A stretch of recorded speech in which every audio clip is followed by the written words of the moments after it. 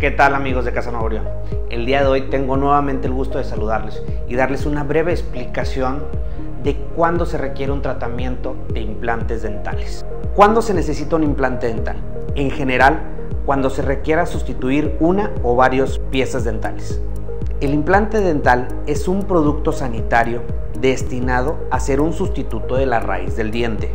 Lo que nos ofrecen los implantes dentales va a ser un aspecto natural, sensación de firmeza A modo de explicación sencilla, podríamos decir que los implantes dentales funcionan como un pequeño tornillo, generalmente de titanio, que se une al hueso de la mandíbula o del maxilar, formando lo que a partir de ahora será la nueva raíz artificial.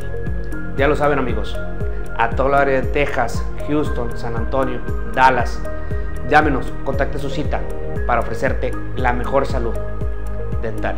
Sonríe.